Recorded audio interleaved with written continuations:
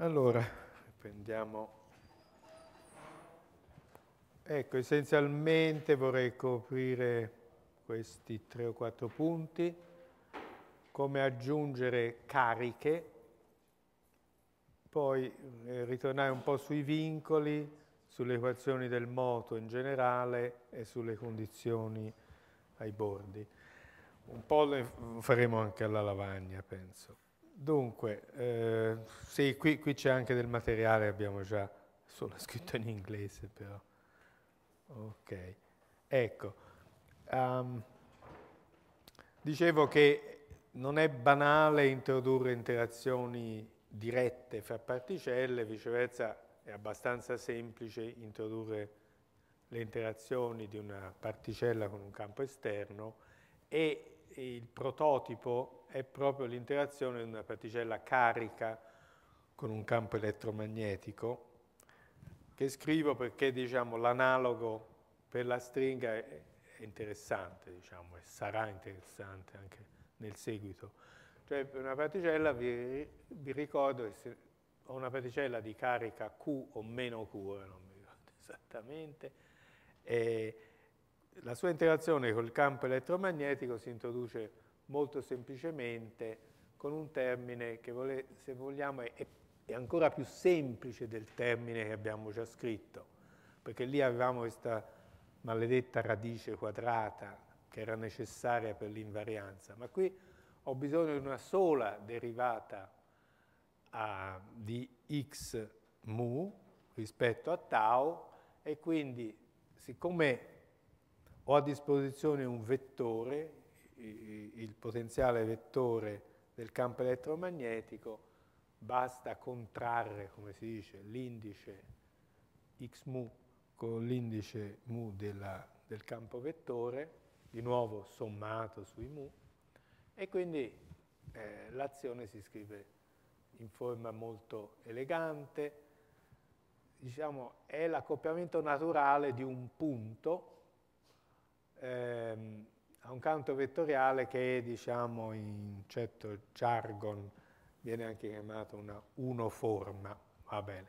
E appunto non c'è bisogno di metrica, eh, il G mu non entra in questo accoppiamento in alcun modo. Allora, qual è l'analogo per la stringa? Andiamo avanti. Ecco, l'analogo per la stringa ehm, è scritto qui. Di nuovo, niente radici, prendo la derivata rispetto a xi alfa, la derivata rispetto a xi beta e semplicemente antisimmetrizzo questo oggetto usando il tensore antisimmetrico a due indici epsilon alfa beta, che è per esempio più 1 se alfa è 0 e beta 1 è 1 e meno 1 se alfa è 1 e beta è 0 e altrimenti è 0. Quindi eh, scritta, scritta più in disteso, l'azione, questo termine aggiuntivo, chiamiamolo delta S per la stringa, è semplicemente l'integrale di sigma di tau x punto mu x meno x punto nu x primo mu per qualcosa, cioè al posto del campo elettromagnetico, qui ho un campo tensoriale con due indici da non confondersi col G mu nu perché ha da essere antisimmetrico per costruzione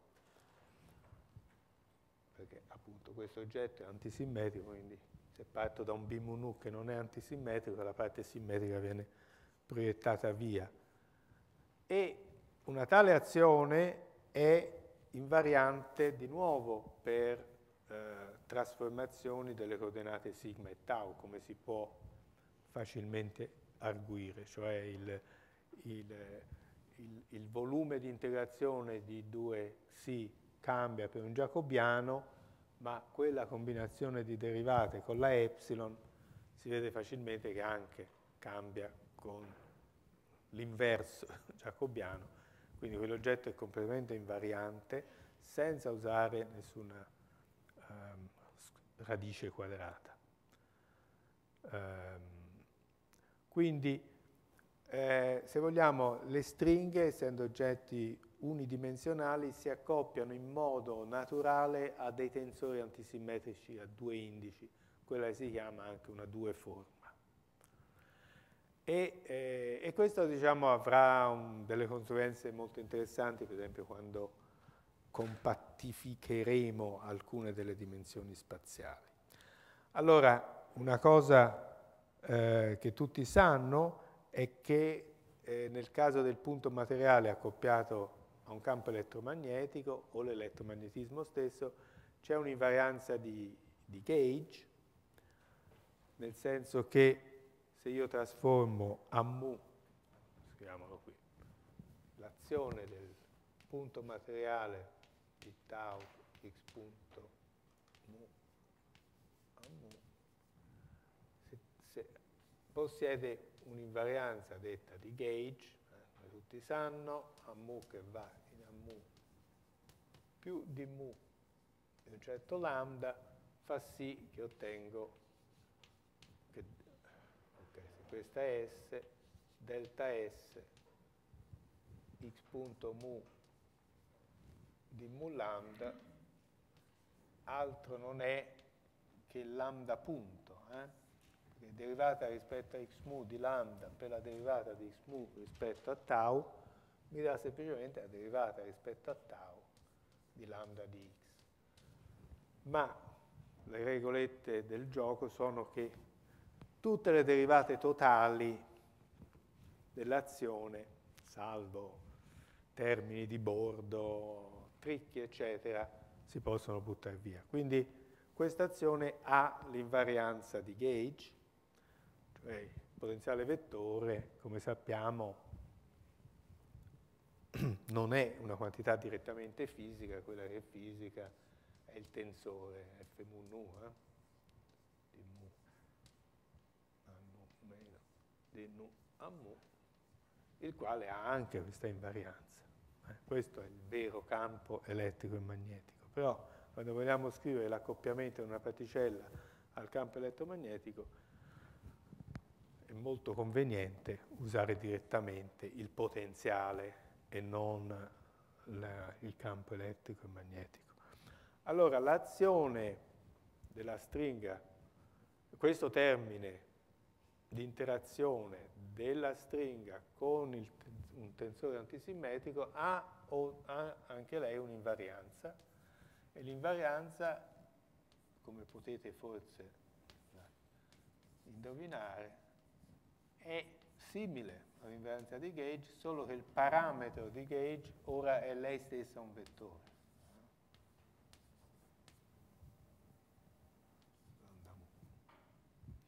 Quindi c'è questa nuova invarianza di gauge se uno inserisce questo, questo campo antisimmetrico e questa diciamo si può dimostrare abbastanza facilmente usando giochetti analoghi. Non sto a fare i passaggi perché probabilmente li sbaglio, se li faccio alla lavagna, e invece fatti in treno credo siano giusti eh, delta S uguale integrale, cioè se io faccio questa trasformazione, delta di delta S, se vogliamo, sotto questa trasformazione di sigma di tau per uh, d sigma di x nu lambda punto nu meno di tau cioè differisce solo per derivare, stessa cosa ma con lambda primo, scusate, x lambda primo. Quindi di nuovo eh, si vede che, eh, che questa azione ha l'invarianza di gauge e se vogliamo la morale di tutta la favola sarà che non è l'analogo dell'F mu nu,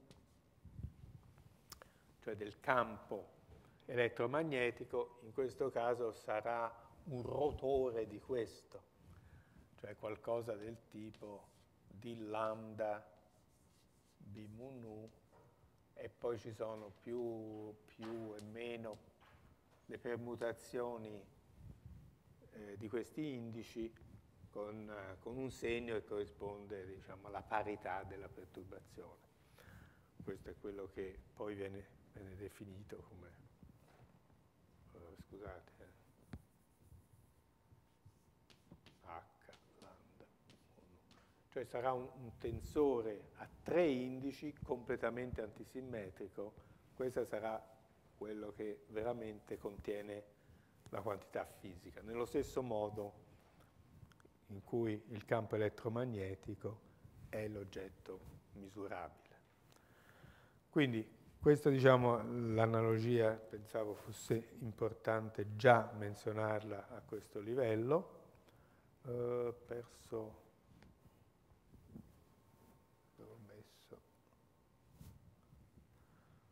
voilà eh, non so se ci sono domande su questo punto nel frattempo ho perso la penna l'ho messo ah, eccola qui, eccola qui no questa è la mia ah no eccola qui ok Domande su questo? Sì.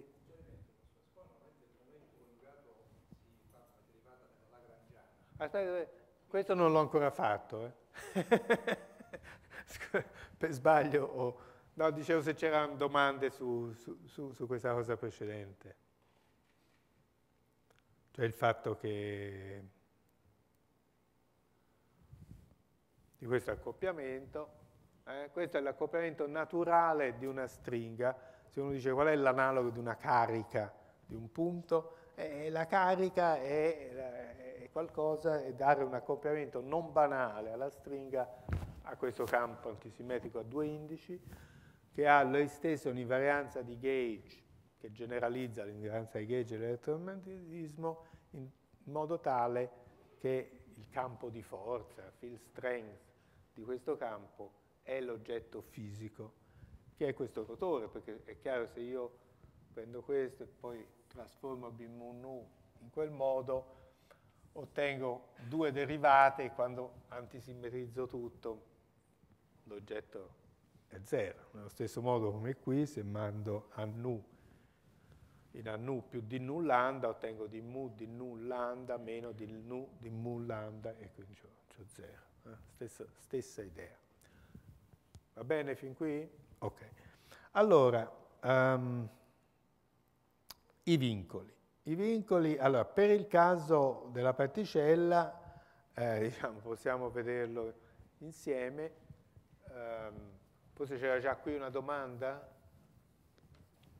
Cioè, se uno prende la particella, abbiamo detto, integrale eh, di tau, abbiamo detto radice determinante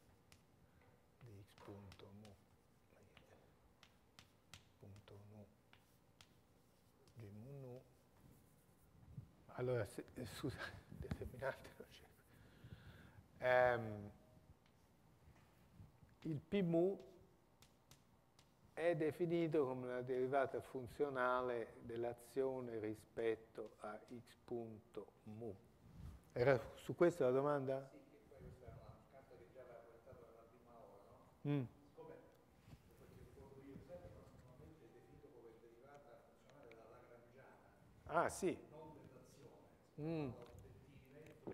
No, è la derivata, no, no, infatti, è la derivata normale dell'azione, diciamo, la derivata funzionale dell'azione, moralmente la stessa cosa è la derivata della, della Lagrangiana. Perché, diciamo, defini, perché la, l'azione è un funzionale, non è una funzione, è, è qualcosa che associa un numero a una funzione, non una funzione. Quindi diciamo, però eh, moralmente è la stessa cosa come dire la derivata della Lagrangiana. Infatti è quello che faccio eh, alla fine, perché prendo la Lagrangiana, però diciamo si può definire come derivata funzionale l'azione un po' più precisa. Allora questa cosa è? 1 su 2 radice, però poi il 2 va via perché, scusate, mettiamo la m, quindi ho un m radice, ora devo derivare qui dentro, ottengo un 2 perché diciamo ottengo la stessa cosa, e eh, vabbè, forse a parte un segno meno, però c'avevo un meno qui davanti, ottengo x punto nu g mu nu, eh, quando faccio la derivata rispetto a x punto. A questo punto mi calcolo p mu, p nu per l'inverso della metrica, eh? quando G mu ha l'indice in alto significa l'inverso del G mu con l'indice in basso. Scusate, il 2 ho detto, bene, perché posso derivare sia questo che quello, e quindi la radice va via, viene meno x punto mu, x punto nu, e sopra viene la stessa cosa, x punto nu. Scusate, dovrei scrivere lambda, g lambda mu, punto eh, eta, g eta nu, g mu nu, scusate, lo faccio un po' pedanticamente, queste matrici no, si eh, questo è l'inverso di questo, quindi tutto funziona a riprodurre di nuovo il denominatore a parte un segno e a parte un m quadro che mi sono scordato. Eh?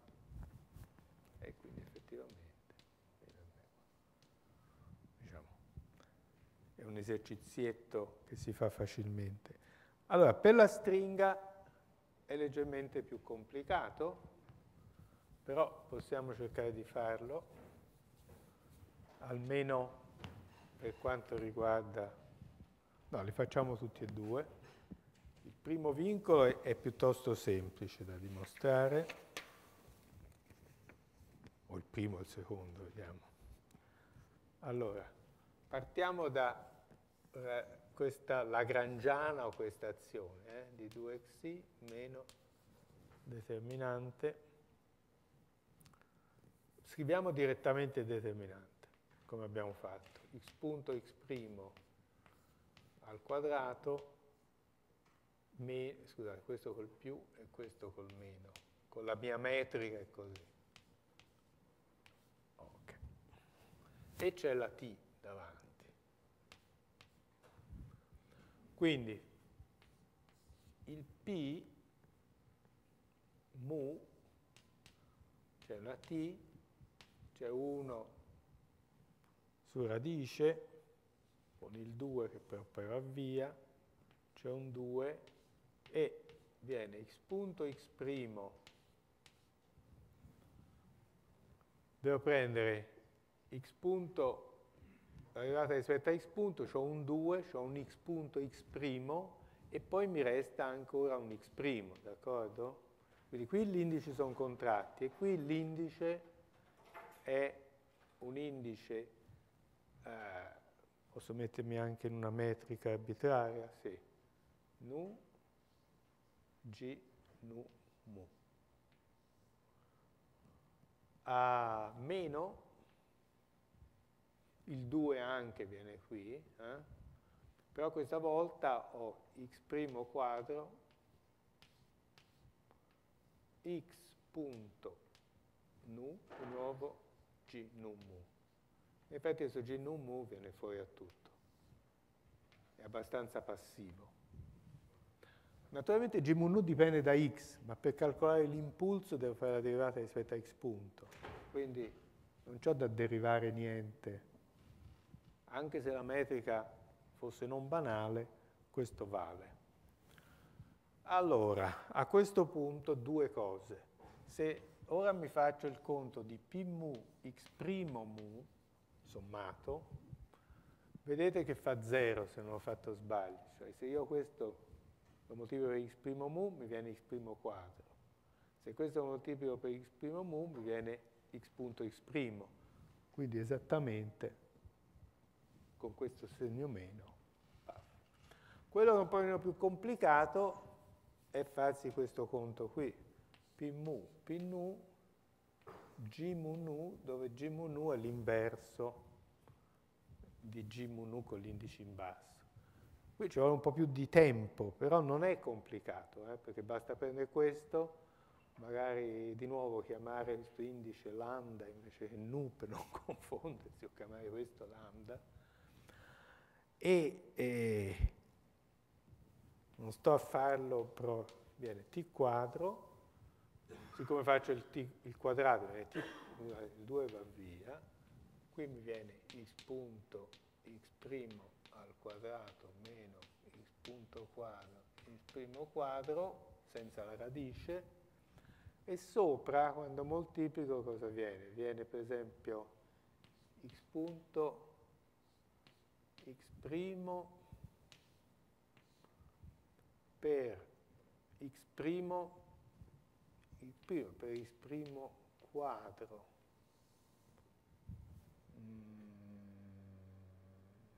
piace tanto, aspetta eh? Sì, sì, sì. No, ma viene, scusate, questo viene al quadrato, ovviamente. Eh? Questo lo moltiplico per 6. Avrò quattro termini, eh? questo per l'analogo, questo col segno meno per quello col segno meno, poi ho i termini incrociati col segno meno. Se metto tutto insieme viene x, x punto x' al quadrato per x' quadro più dal termine questo al quadrato, x' quadro al quadrato x punto quadrato meno 2, vengono due volte i termini incrociati, che però danno un x punto x' al quadrato x' al quadrato. In altre parole, mi cambiano il segno di questo. Eh? È una questione di algebretta. Eh? Quindi questo va via col 2 e questo, a questo punto vedete che c'è un x' quadro per il denominatore. È vero? Eh, con un t quadro e se uno non ha fatto sbagli di segno, un segno meno overall, perché c'è questo meno, mentre qui c'è il più.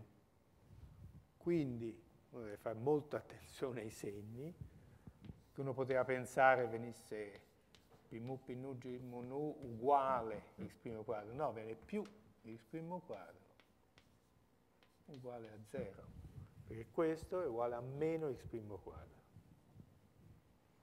Sembra una magia, ma è, è, così. Poi diciamo in un'altra formulazione della stringa di Polyakov, questo viene fuori in modo un po' più diretto, però diciamo, uno si fa il conto e viene fuori anche nella formulazione di Nambu-Goto. Quindi questi sono i due vincoli. Interessante che uno contiene, scusate, quando dico esprimo quadro, qui esprimo mu, esprimo nu, gimu. Interessante che il vincolo il primo vincolo, che abbiamo messo da qualche parte, non contiene la metrica. Ah, forse non l'ho nemmeno scritto, x'p uguale a 0, perché diciamo x' c'è un indice in alto, il p c'è un indice in basso e quindi li contraggo direttamente. Invece questo, che invece di essere bilineare e quadratico, questo contiene sia la metrica sia l'inverso della metrica. Questo è il vincolo più rognoso da imporre. Domande su, su, sui vincoli? Quindi come promesso eh, vengono, ne vengono fuori due per il... E dunque, l'altra cosa... Mm, ecco, volevo mostrarvi le equazioni del moto, allora, perché l'equazione del moto vuol dire scrivere le equazioni di Eulero-Lagrange per questa per questa azione in Minkowski, eh? perché attenzione, se faccio l'equazione del moto a questo punto non posso trascurare la dipendenza di x della metrica, perché devo anche variare rispetto a x, mentre per calcolare gli impulsi mi basta la derivata rispetto a x punto, quindi sono insensibile alla complicazione della metrica, qui è, ov- è ovvio, e d'altra parte è giusto, perché diciamo le, il, mo, il, moto della stringa deve dipendere dal, dal, dal campo gravitazionale in cui si muove, eh? quindi è giusto. Però per fare la vita semplice e, e, mostrare che anche la vita semplice a priori sembra molto complicata, scrivo le equazioni di moto in, in Minkowski. E, e sono abbastanza orrende, no? Non trovate? Perché questa è l'equazione del moto, del secondo ordine. d di tau di dl di x punto più d di sigma dl di x primo uguale a 0. Ma dl di x punto ha, ha questa struttura di cui ancora devo prendere la derivata rispetto a tau e questa eh, devo prendere la derivata rispetto a sigma. Sembrerebbe senza speranza questa, queste, queste equazioni in moto. Però, ah, non l'ho fatto qui, no, lo faccio alla lavagna. Allora, vediamo come si semplificano il gauge ortonormale. Sì, questo non, non ho nemmeno gli appunti perché è abbastanza banale vederlo direttamente sulle, sulle slide. Ecco. Mettiamoci nel famoso gauge ortonormale in cui x punto x' contratto è 0 e x punto, forse devo riscriverle qui, quindi ho x punto x' uguale a 0 e x punto quadro più x' quadro uguale a 0. Allora, vedete subito che le radici spariscono perché viene la radice eh, di un quadrato. Attenzione, eh, questi quadrati non sono dei veri quadrati, sono, sono somme di prodotti. Ma se io dico che x punto quadro è uguale a meno x, x primo quadro, che è una delle due condizioni, questo mi viene x punto quadro, poi tutto al quadrato. Eh? Quindi a questo punto la radice la posso prendere. Ci sarà un segno eh, da definire bene, il segno di questa radice. Inoltre, qui sopra questo termine va via, ma allora se io questo lo interpreto come a x punto quadro, mi viene che eh, dl di x' è semplicemente t volte x', molto semplice.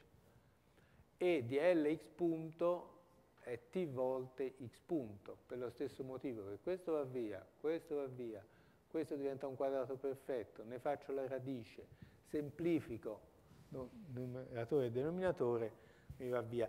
L'unica attenzione bisogna fare a un segno, perché diciamo x' quadro e x quadro vogliono avere segno opposto, come vedete da quell'equazione. Quindi devo tenere conto di quel segno e eh, se non sbaglio diciamo, devo prendere, la, de devo prendere la, la, determinazione positiva della radice in tutti e due i casi e alla fine c'è un piccolo segno da, da stare attenti, ma capite ora perché viene l'equazione delle onde, perché di, di, tau di dl di x punto, ma dl di x punto ora è t volte x punto, quindi viene la derivata seconda rispetto a tau di x.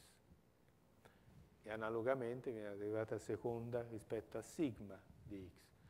Quindi se sto bene attento ai segni mi viene la derivata seconda rispetto a, a, tau è uguale alla derivata seconda rispetto a sigma, non meno, eh? è uguale. Quindi c'è giusto questo segno a cui uno deve fare attenzione, ma si vede bene come si semplificano le equazioni. E, diciamo, alle volte uno ha fortuna a priori sembrerebbe disperata la situazione. Eh, chiaro? La questione delle equazioni del moto. Poi abbiamo solo l'ultimo argomento, sono le, le, condizioni ai bordi. Eh, siamo già verso il 5. Allora, il punto è che, ecco, bisogna fare un piccolo passo indietro, che è questo. Cioè quando uno varia l'azione di Nambu-Goto ottiene un termine eh, normale, diciamo, eh, come al solito, vengono le equazioni di Eulero-Lagrange mettendo a, a, zero questa variazione e questa è l'equazione del moto, eccola scritta sotto. Però se uno sta attento viene anche un termine diciamo di superficie che anche va messo a zero, perché nessuno ci dice che nella, nel principio variazionale si debba mettere a zero eh, qualcosa ai bordi spaziali. Eh? Bordi temporali sì, ma non ai bordi spaziali. Quindi ecco da dove vengono le condizioni ai bordi, vengono da mettere anche a zero questo termine, ma questo termine siccome è derivato rispetto a sigma eh, contribuisce solo ai due estremi, infatti con segno opposto all'estremo sigma uguale a 0 e l'estremo sigma uguale a π greco. Quindi eh, ecco perché vengono fuori queste condizioni. E questa va, va soddisfatta, ecco perché eccezione alla regola, qui c'è un indice ripetuto che non va sommato, eh? infatti quando non va sommato bisogna dirlo, altrimenti è sottinteso che si somma. Quindi qui mu per mu va imposta questa condizione. Allora, come dicevo, per stringhe chiuse, siccome i punti sigma uguale a 0 e sigma pi greco sono allo stesso punto, bla bla bla, se lo spazio è topologicamente banale, questa condizione è automaticamente soddisfatta dal fatto che, che la stringa ha questa periodicità, l'x mu ha questa periodicità. Quindi non c'è nulla da fare, ecco, basta imporre appunto la periodicità in sigma della x. Per le stringhe aperte, vedete qui le due possibilità. Le due possibilità sono essenzialmente eh, mettere a zero dl Siccome ora sono due punti distinti, non posso imporre un'uguaglianza fra le due e quindi devo imporre separatamente che siano 0 e secondo che metto a 0 il delta x mu o il dl di x' eh, vengono le due condizioni, tipo Neumann e tipo Dirichlet. Queste diciamo poi eh, perlomeno nel gauge che abbiamo usato, queste diventano x' uguale a 0 e x punto uguale a 0, semplicemente perché la x no, non si muove. Quindi eh, questo era essenzialmente quello che volevo spiegare, come queste condizioni ai bordi vengono fuori dal principio variazionale. È tutto qui. E, ehm, e poi, vabbè, forse vedremo come sono invece diverse quando introduciamo i fermioni, ma diciamo per i bosoni questo, questo è essenzialmente tutto. Sì, avevo intenzione poi di discutere la soluzione, ma l'abbiamo fatta la, la, prima ora, quindi diciamo non c'è bisogno, mi sembra c'è niente di nuovo. No, non c'è niente di nuovo. Quindi questo esaurirebbe la, la lezione, semplicemente se ci sono altre domande sono qui per cercare di rispondere. Diciamo, spero che questo abbia dato un po' un'idea di cos'è una stringa classica, eh. questo era lo scopo della lezione, e poi però eh, dovremmo, dovremmo guardare cosa fa a livello quantistico e e quella è la, la, vera teoria di stringa, è essenzialmente quantistica, cioè in modo essenziale, non è che è giusto, dice, va, uno fa l'approssimazione classica e poi c'ha delle piccole correzioni. Cioè il messaggio sarà che la quantizzazione è proprio essenziale e sarà all'origine di tante, di tante proprietà della stringa, anche di simmetrie che classicamente non ci sono e che sputano fuori dalla quantizzazione, eccetera.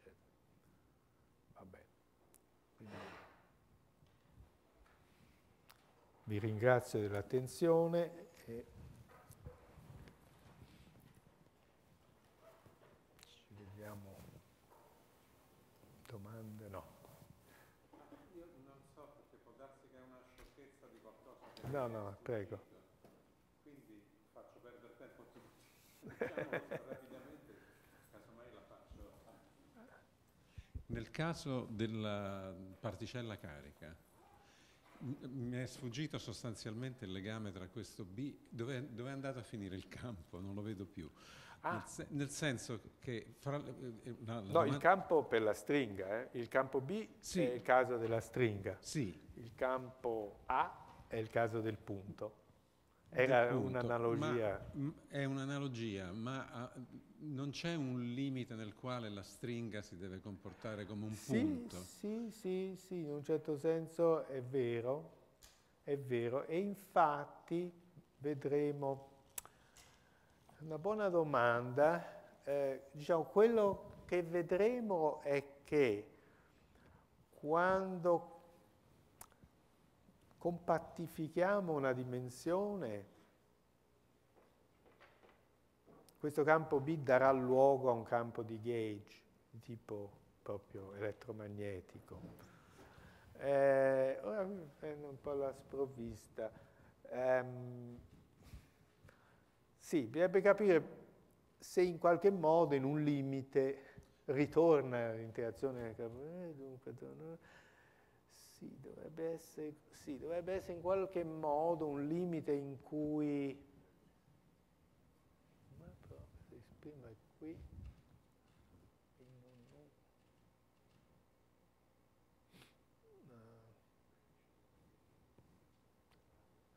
Sembrerebbe, sembrerebbe difficile eh?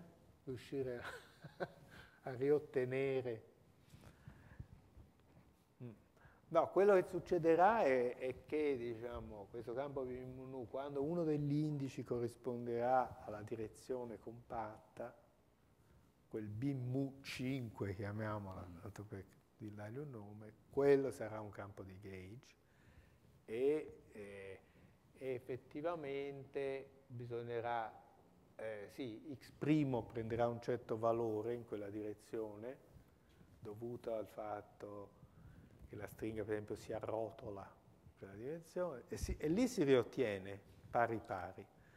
Però effettivamente la domanda è più generale, cioè eh, sembrerebbe che nel limite di tensione infinita o qualcosa del genere si dovesse riacquistare. Mm.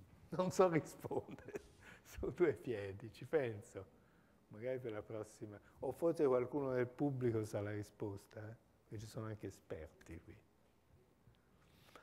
ma così su due piedi non vedo come andare dall'azione del punto all'azione. Ma invece la, la, forse la cosa che mi sfuggiva, che è più banale, quando si fa questa analogia, facciamo il moto di una particella carica in un campo che è definito da mm-hmm. A a Mo.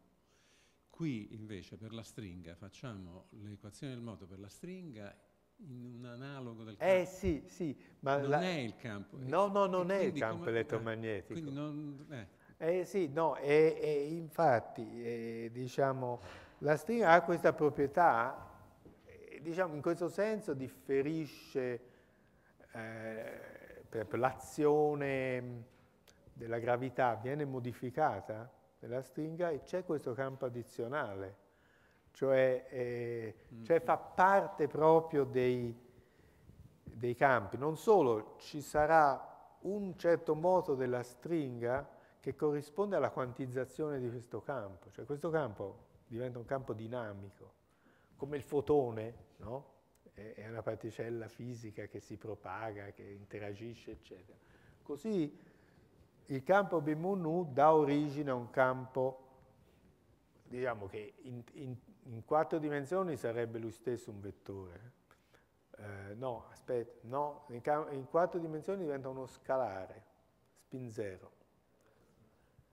In più dimensioni ci avrà degli indici, eccetera. Quindi, eh, quindi sembra un po' difficile ottenere passare dall'uno all'altro, cioè sembra veramente tipico dell'essere partiti da un oggetto unidimensionale.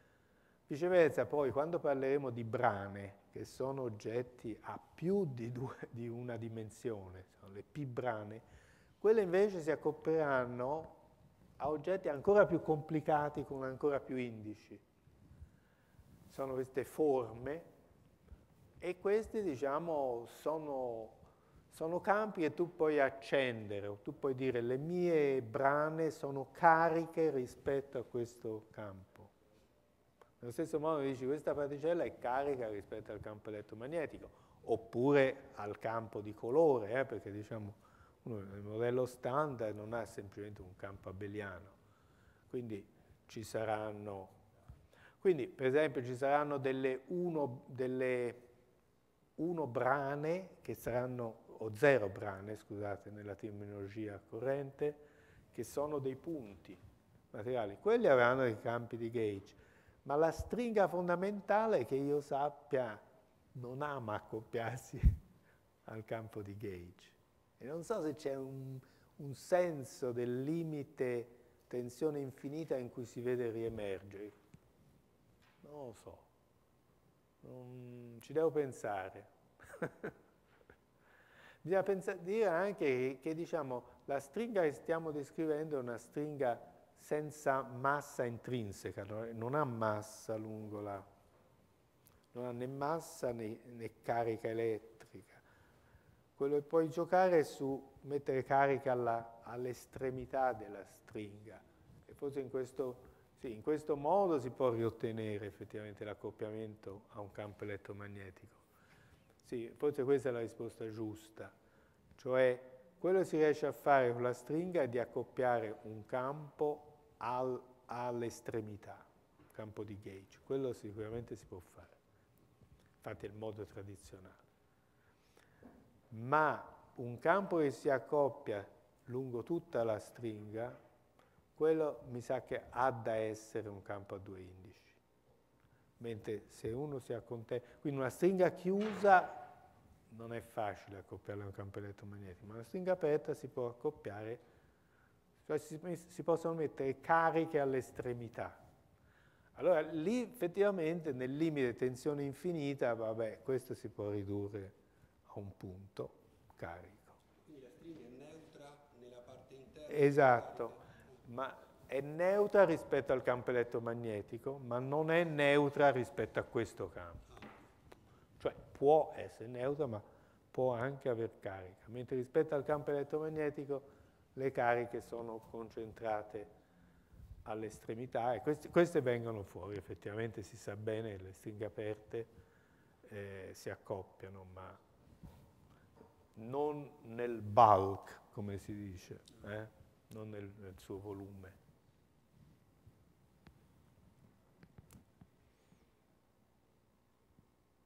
Bene? Allora chiudiamo qui. Grazie.